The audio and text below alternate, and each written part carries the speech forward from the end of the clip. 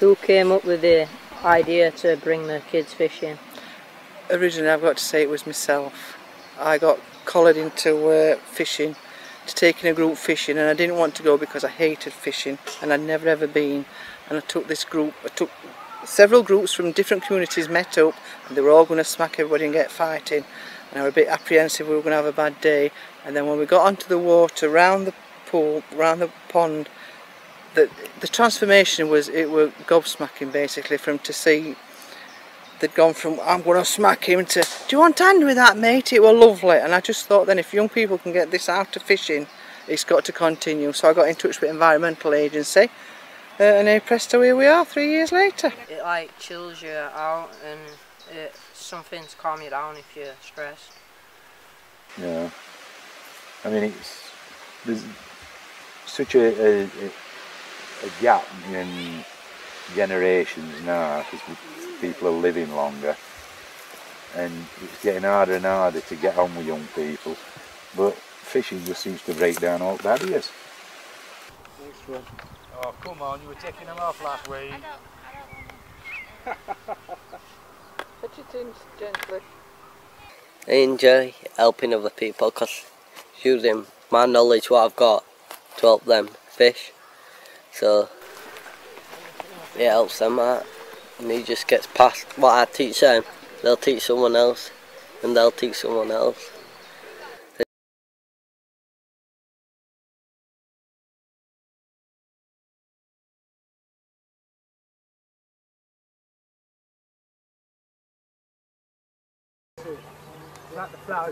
Bugs, having bugs stuff food for the fish.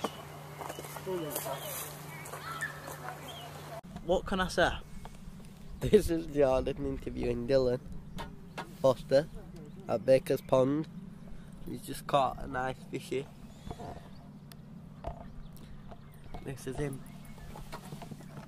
trying to get a hook out of its mouth, which is pathetic at.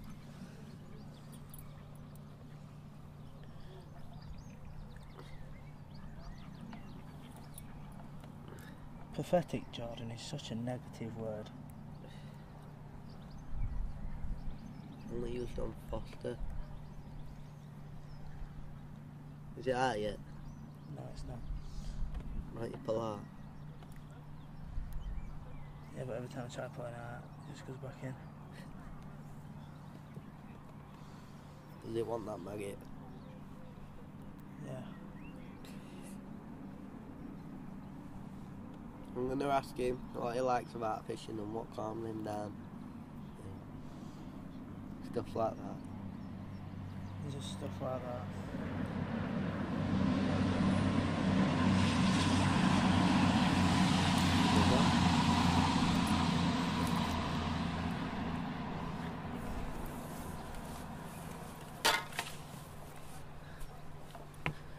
What calms you down when you're fishing and When I catch something like that.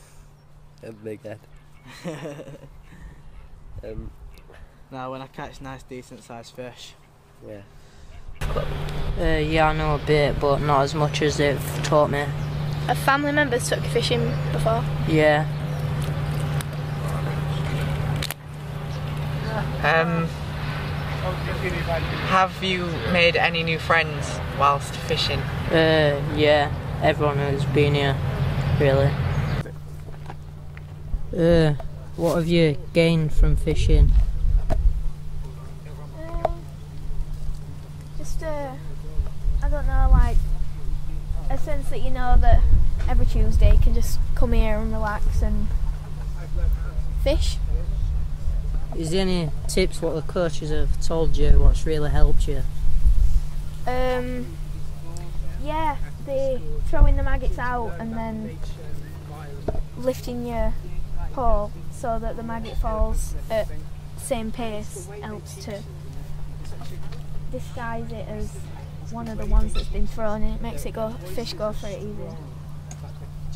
Do you think it's like helped you a lot what the coaches have told you?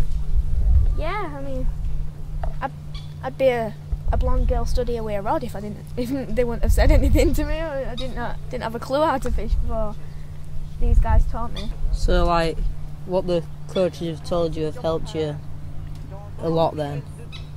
Yeah, I wouldn't have caught.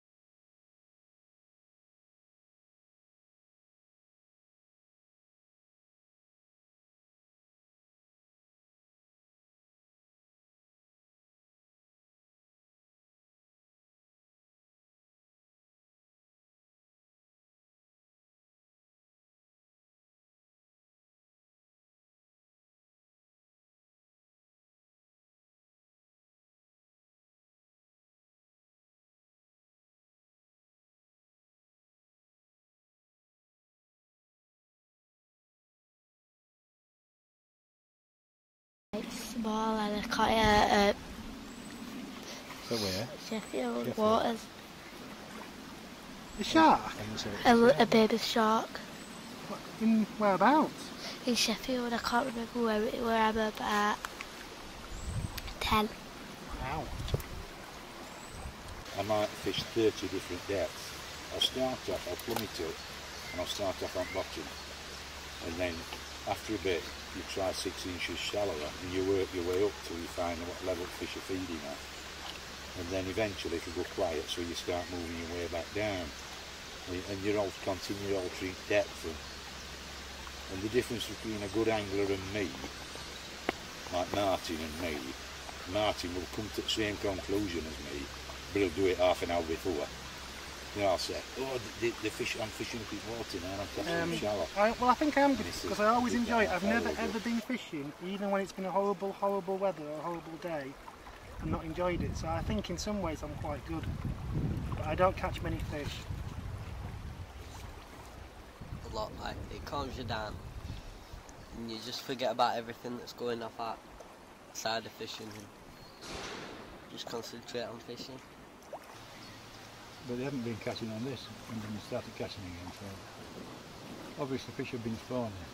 Yeah. For this warm weather, it's brought them on to spawn. Like, so once they are spawning, they'll not feed. They have one thing on their mind, and that's spawning. And then he says, in this mystical Christian tradition, the enjoyment of God is actually a, a loose affect. It has to do with lust. It's, it's no longer an intellectual thing. It is an experience of satisfaction and gratification. It emerges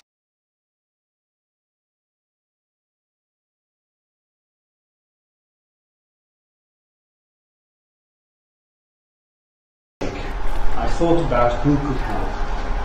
I racked my brains for a solution. The book I had been reading bore the title The Robber's Cave in the Sierra Morena or The Angel of All the Oppressed. When father had come home and fallen asleep, I climbed out of my bed, stole my, out of my bedroom and got dressed. Then I wrote a note. You shouldn't work your fingers to the bone. I'm going to Spain. I'm going to get them. I put this note on the table with a piece of dry bread in my pocket, together with two pennies for my Skittles money, trapped down the stairs, opened the door, drew another deep sobbing breath, but quietly, quietly so nobody would hear, and then went down into the marketplace with muffled steps and out along Niedergasse, the Lumbitzer which leads via Lichtenstein and Zwickau to Spain, to the land of the noble robbers, Albert and Mead. But What did you say about catching a shower? it will make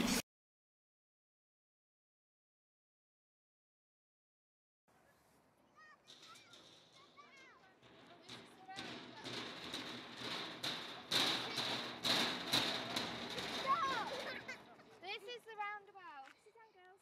Don't make that noise again, it's great.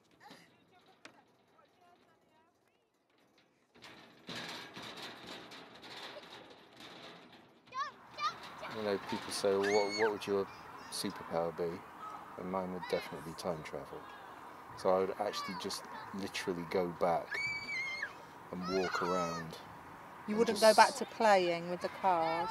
No, because that would defy the laws of time. I can't go back as a child, and also I'd get locked up. Well, if I we're inventing time travel, you could right, invent anything. you can invent anything. But also, I mean, it, it, to me, it's two things. It's, it's about kind of doing things like playing when you're a kid, when you're totally immersed in the thing you're doing. But also, I think as we were saying this morning about day, daydreaming, or I think I said to Steve yesterday about daydreaming. What do you think about um, playing out? Oh, it's amazing. That's where the men would get changed before they went out to play football. Never knew that. Ah, well. And then it started to get vandalised, so it kind of disappeared after a while. So they decided to demolish it. There's been a quite. They will do. That's all. That always happens. Is that your den? Yeah, that was our then. There's rats in here. Huh? There's rats in there. Where? Well, there wasn't when Alicia went in there. There is. There's always little rats. If you'd leave it, you used to set it up and put stuff in there and just kind of bits you've got from home and make it comfortable. And then you'd make it really good and then you'd leave it and like you, you'd come back a few days later and someone had been in there and nicked some stuff or kind of trashed it a bit. I've got to go let Alicia. That always happens. You play in there, But you've got to accept it. Why do you go in there? Why? What? What's kind of feeling? This bit used, didn't used to be as. No. Well, Well, it's you her den. can. You're not allowed. You can go in there if you want. Um, Is it like? this bit used to be really small and we only put it a little bit.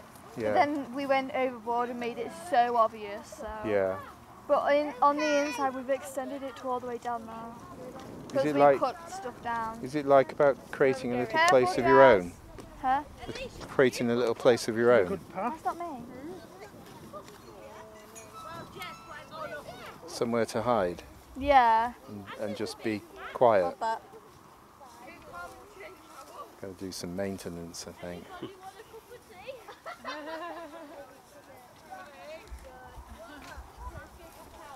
there's a chair in the tree. Ow, my head. It's burnt. Tree house. Yeah. There's a tree, there's a thing, there's a keep calm and change my bum. And there's me. Yeah, Nobody cares about you. Everyone. Nobody cares. You've got to sit up there, Connor. Yes. Right.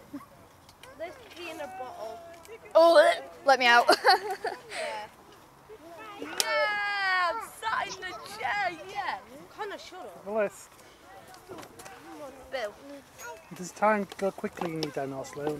uh, slowly when we was building it, because we wasn't really looking forward to it.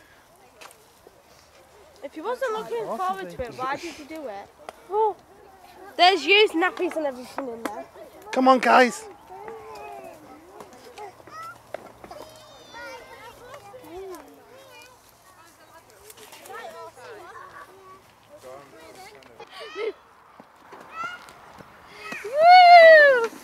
Whoa! Can I go on my belly? For me, I was, I was three, yeah. Okay. Yeah. And were you great play friends? Do you play together a long time? What? Not We- at we that. can't- We, sort of came a bit later, didn't we? Really? Yeah, we So did when we were really. teenagers. Yeah, Yeah. That, that was the thing. And um, when you were on the estate, Steve, what were you? What might you like when were you were playing or you came out to play? or You were playing out. What what did you do? Like earlier, you were saying something about football. Yeah, we used to play. We used well, we weren't supposed to. We weren't allowed to. There's, there's, there's signs everywhere saying no ball games. Yeah, and, yeah, Uh, I did get the police. My dad did go mad at me once for bringing the police to our house. What were you doing? I was caught playing football when I shouldn't have been playing football. Can you carry on drawing it and I'll, I'll video you a bit. This is the big slide where kids slide out.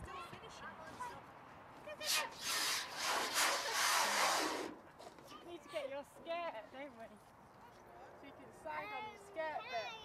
Danielle, do you want to come back up and redo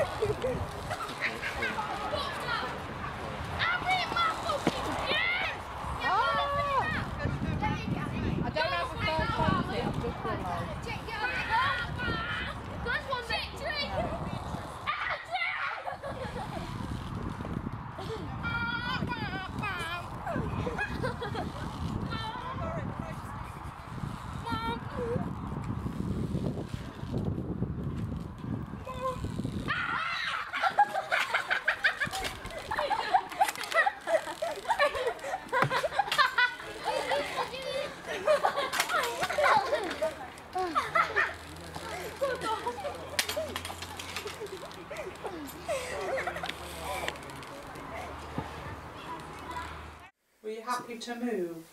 Oh yes, yeah. The house we lived in was was quite old fashioned compared to we even had a well outside the back door. But we used to get we used to cut out the cardboard and put them on the spokes so it sounded like a motorbike. Uh, Did you ever do that? we had little motorbikes. We had a motorbike. We had a. You had a motorbike? Well, I didn't because the, the big boys had the motorbike. So I couldn't control it.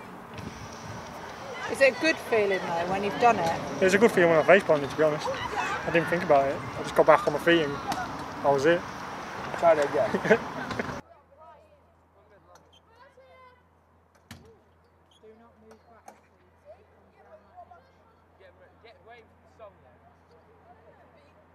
Like, I don't really care what anyone says, I just get on with it.